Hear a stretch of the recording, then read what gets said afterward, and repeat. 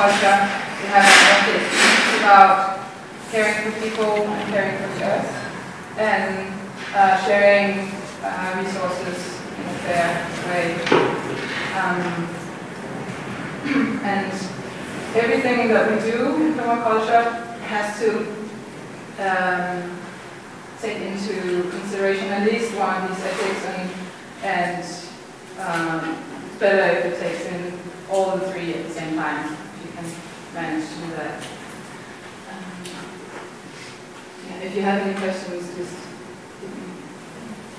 so the primary goals of permaculture, everybody um, I think interprets it a little bit different along um, depending on how the life situation is and what the primary focus is. But um, for me, it's very much about living a healthy and meaningful and fruitful life according to my nature. And what that is, it's, developing all the time, but it certainly has something to do with um, getting more grounded and being more in nature and learning from nature and um, connecting myself more to the, soil and the plants and the, everything that that goes on.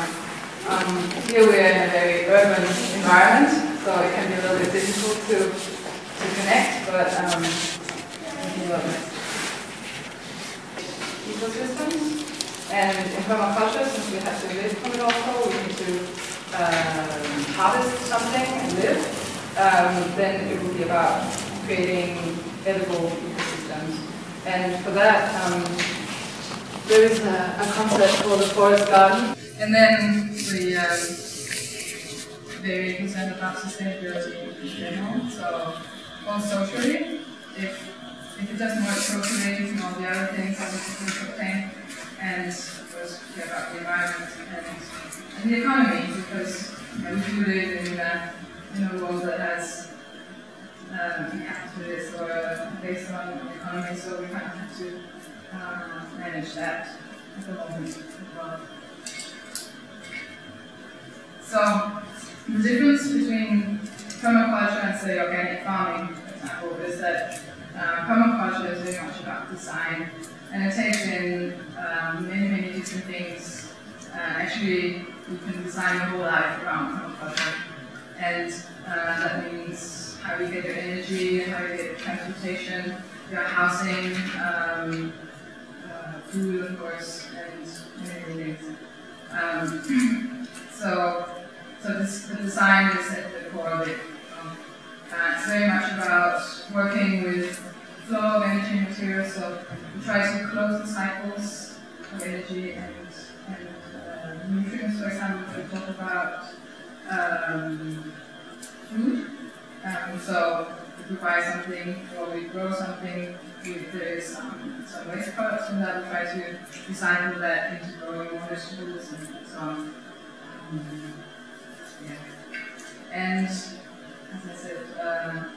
Design also has to encompass ethics and then um, there's a long list of different principles that we use in permaculture.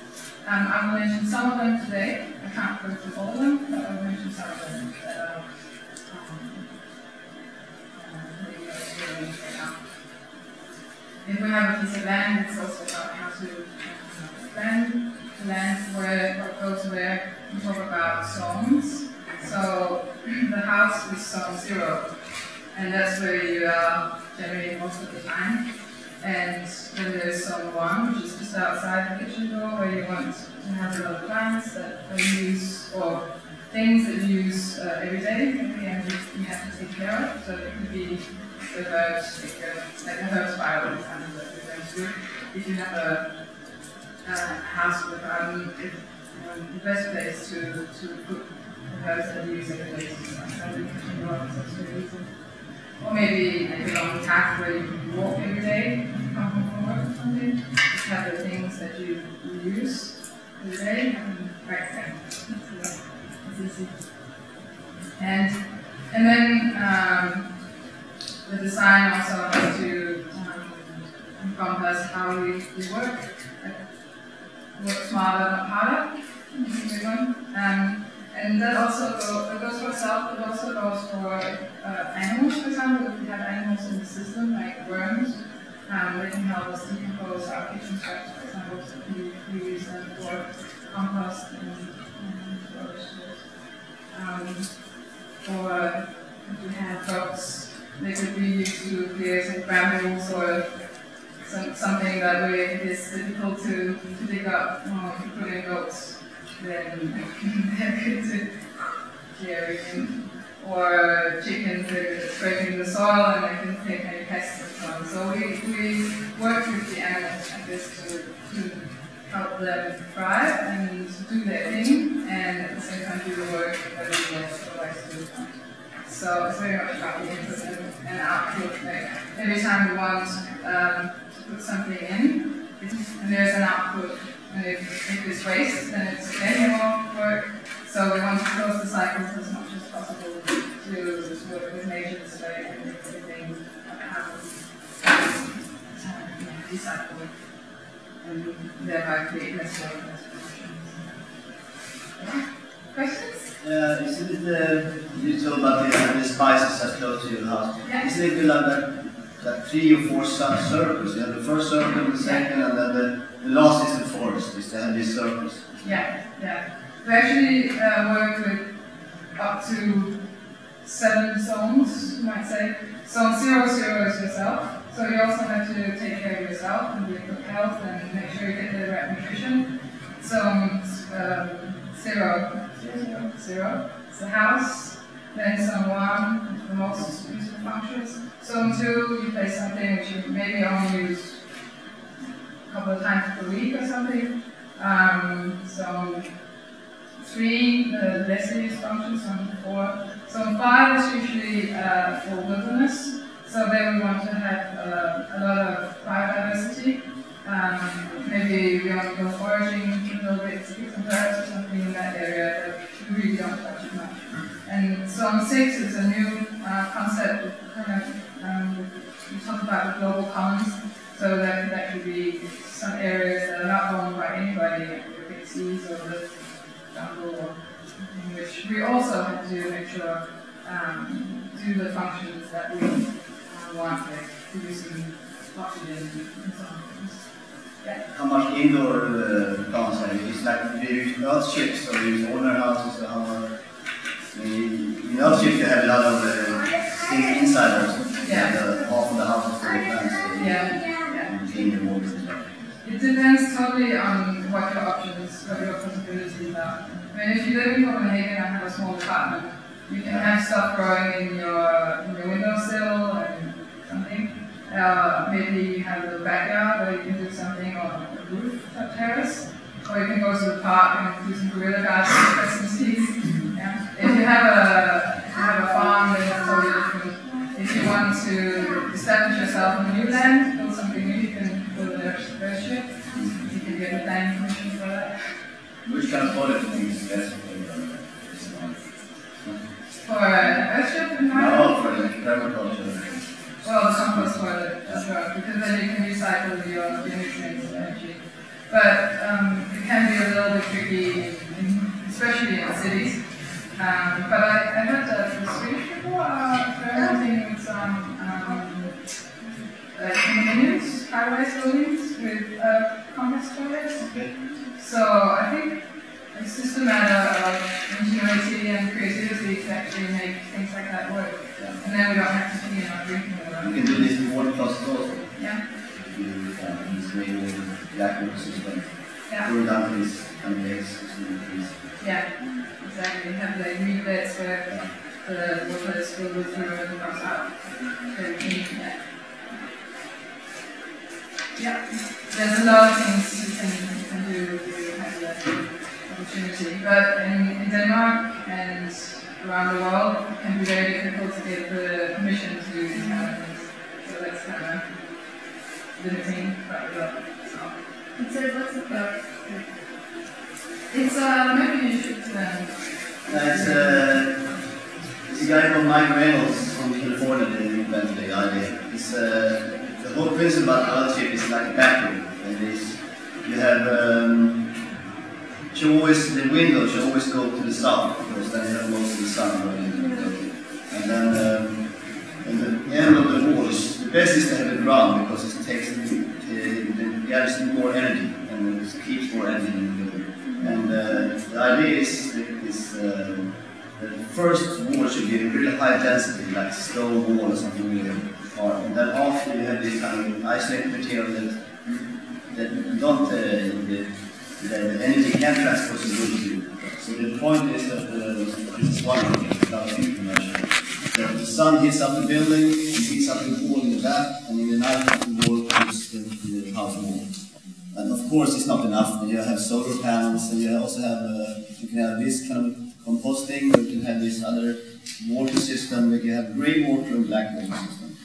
The grey water is the, the, the water that you use to wash the dishes and stuff. Of course, you know, this, yeah, I can can talk about it for hours, but this is the lower. Uh, Yeah. This is the basic. You can, you can have a little bit the same effect if you have a house or your apartment and you put a, a greenhouse inside of it. Then you have like the greenhouse effect. So it means that the sun comes through, the energy comes through, heats up the wall behind. Um, I want to um, talk about um, some of the principles. Um, and especially when you talk about food, um, sorry for my spelling mistakes, I translated it from Danish to English. Um, yeah.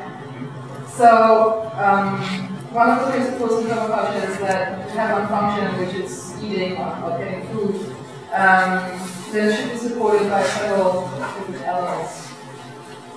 Um, so, for example, you can have food from the supermarket or the local market, but you can also have a kitchen garden little animals or, or perennial plants.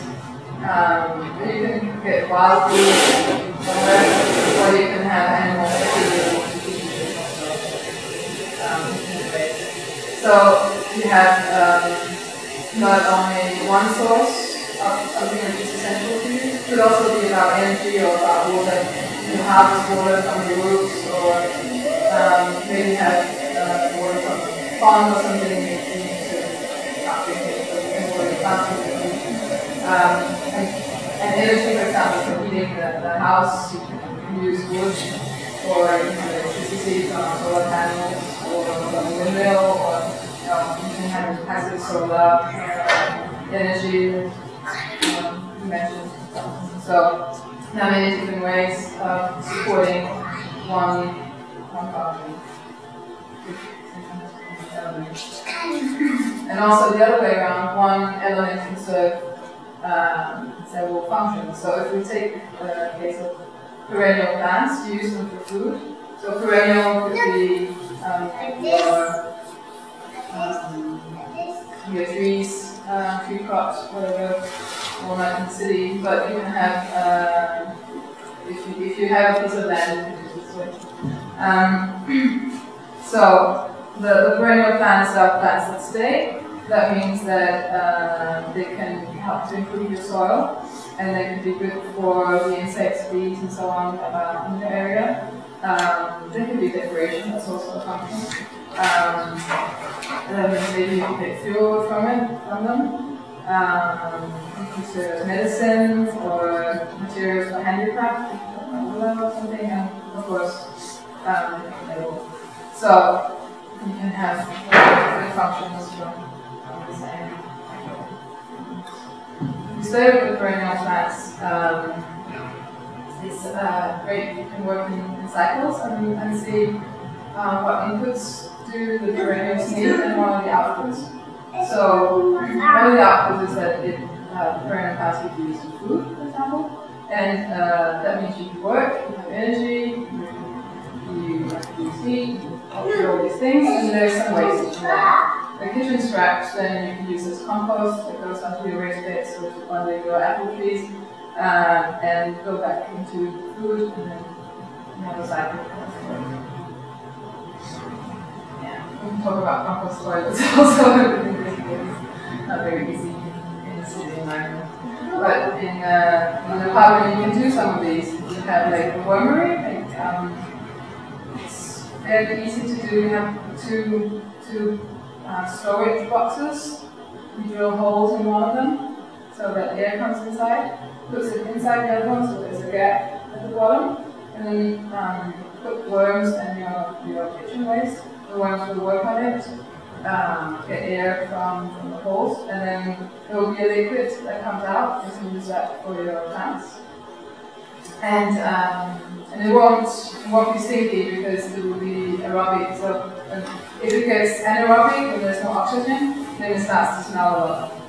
But um, when it's still uh, aerobic, there's lots of oxygen, then it's, it's, it's okay. You can maybe not in your living room, but in the kitchen. Is it hold both on the sides and the bottom, or, or is it Yeah, and the top, and yeah, the bottom, so the liquid can come out, and the sides, and, the, and especially in the top.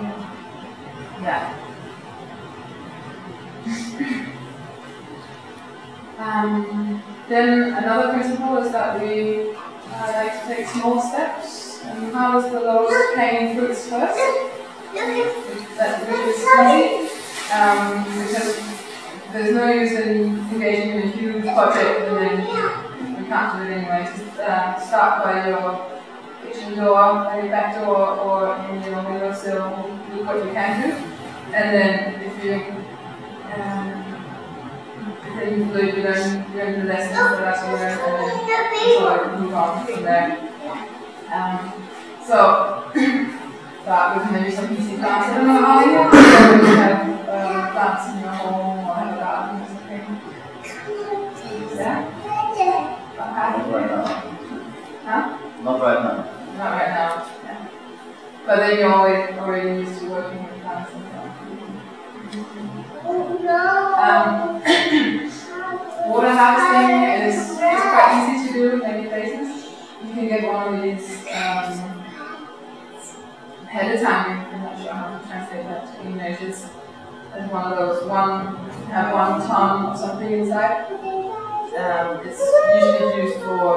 maybe juice or something else, um, transporting around EU or something, and, and sometimes they sell them really cheap, or you can get them for free.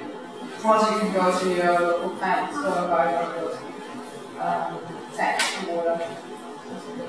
And so what do you use it for? um, for housing water. So, for example, from your from your roof, instead of leading the water into sewers, where it would be wasted, so you divert it into your your big barrel or water tank, and then you use it for watering your plants. Well, clean to Yeah, or you can uh, you can use it in your toilet. for example. There's no need to water for for the street.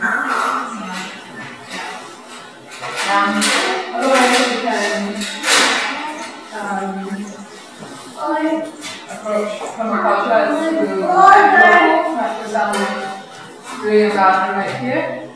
It's a very urban garden, it doesn't even have contact with the soil for many reasons, but um, at least it's uh, it's trying really to, to reclaim uh, some land and, and try to grow something and, and also for the social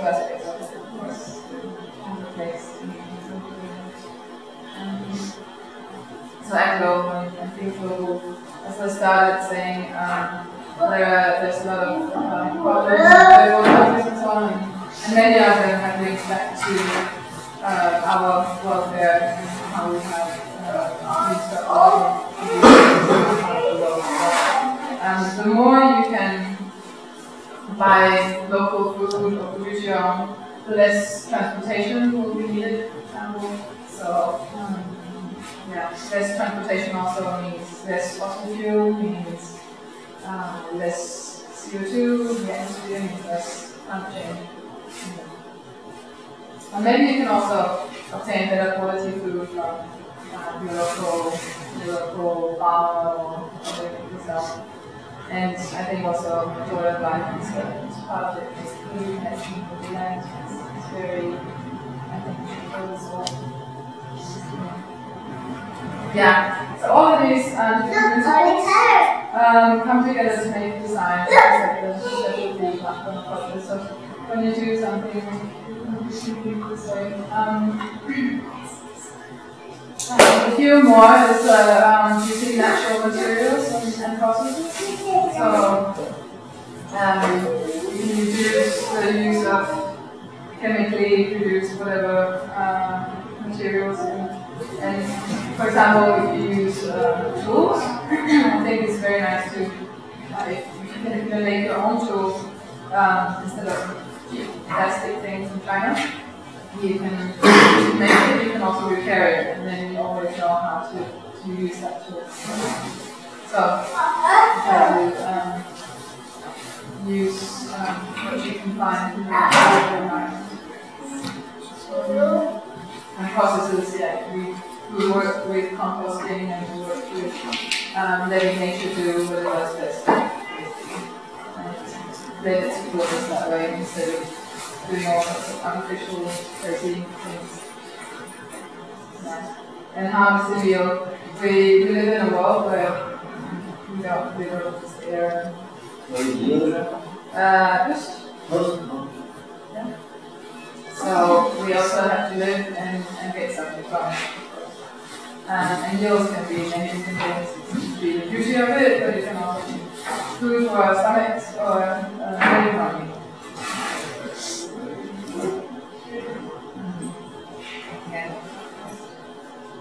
Okay. Um, I want to stop here because um, I think we should and get our hands on it, a little thing. Um, there's some, um, I'm not quite done yet, but here's a website. Can you read it?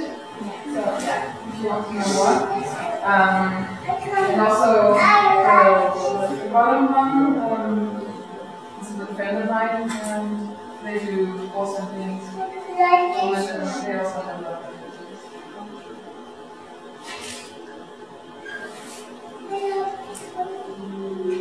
Yeah, okay. So just to give you an idea of what we're going to do today, um, some um, work.